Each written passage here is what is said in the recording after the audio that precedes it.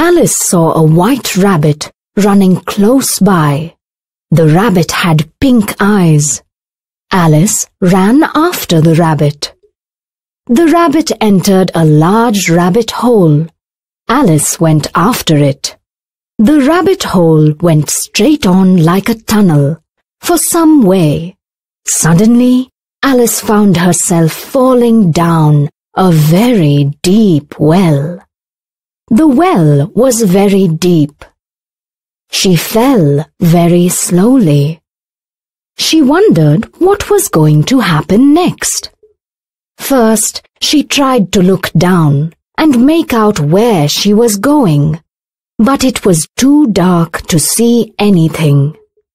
Then she looked at the sides of the well and noticed that they were filled with cupboards and bookshelves.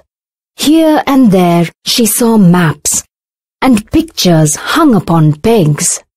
Well, thought Alice to herself, after such a fall as this, I won't feel anything if I fell down the stairs. How brave they'll all think me at home. I wouldn't say anything, even if I fell off the top of the house. Down, down, down. Would the fall never come to an end? Down, down, down. There was nothing else to do, so Alice soon began talking again. Dinah'll miss me very much tonight. I should think. Dinah was the cat. I hope they'll remember her saucer of milk at tea time. Dinah, my dear, I wish you were down here with me. There are no mice in the air, I'm afraid, but you might catch a bat, and that's very like a mouse, you know. But do cats eat bats, I wonder? And here, Alice began to get rather sleepy and went on saying to herself, in a dreamy sort of way, Do cats eat bats?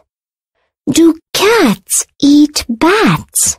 And sometimes, do bats eat cats? For, you see, as she couldn't answer either question, it didn't much matter which way she put it.